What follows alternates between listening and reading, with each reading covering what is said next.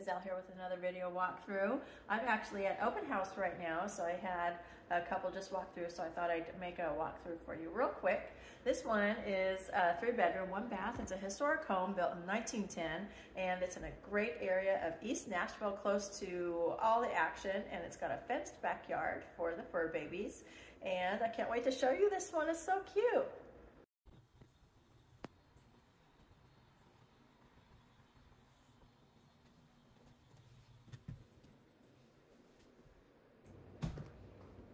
Hey, thanks for watching this video.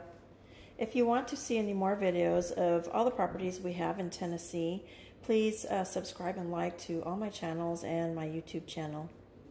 So this home is in East Nashville. It is a three bedroom. It's got a one bath. It's got a full uh, back fenced yard.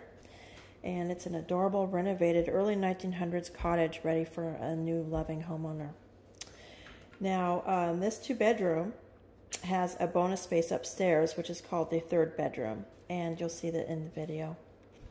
And it's got a pretty big kitchen with room for a little uh, dining nook, and it's got a separate dining space that you could use as an office.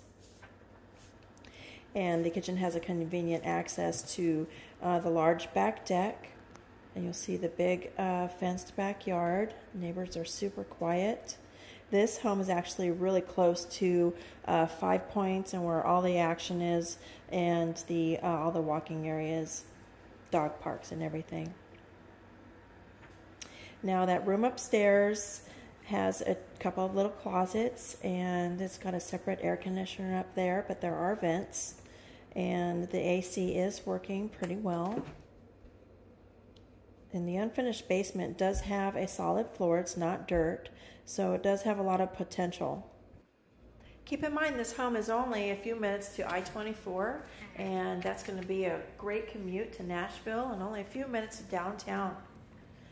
So if you want to see this home in person, definitely give me a call. My phone number is on the flyer there and happy house hunting. Thank you so much.